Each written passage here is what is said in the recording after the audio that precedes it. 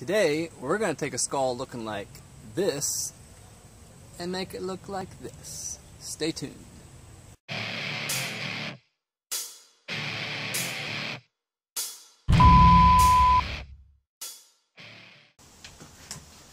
Hey, welcome back. Hunter here. So today, as you saw at the beginning, we are going to stain a skull using a torch, fire. Um, this practice is actually a uh, method they use in Japan. Um, it's called Shou Suji Ban. So this is a piece of wood I tried it on. This is before you burn it and after. And just creates a really nice kind of stain. Um, and I thought, hey, why not try it on a skull, right? Um, obviously, a skull is not going to have a grain like wood, but uh, it might work as an alternative to uh, just like a wood stain that you might put on there. So we're going to try it. You don't need a clean skull. This one's not clean, um, just because you are staining it, so it doesn't need to be whitened. But uh, we'll start. All you need is torch, and uh, I'll show you how it's done.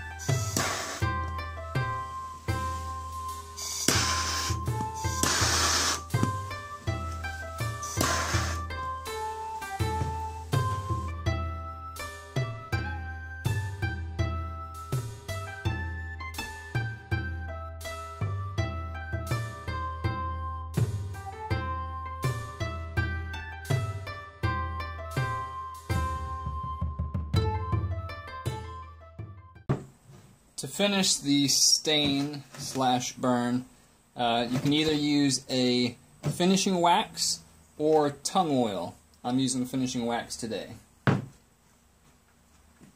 Just get a rag, something, smear it on there, and then we'll polish it off.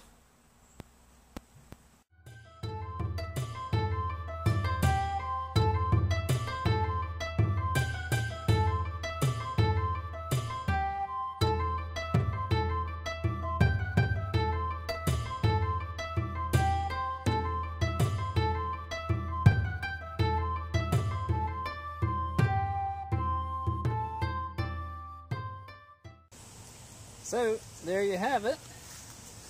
That is our Shou Suji Ban stained skull.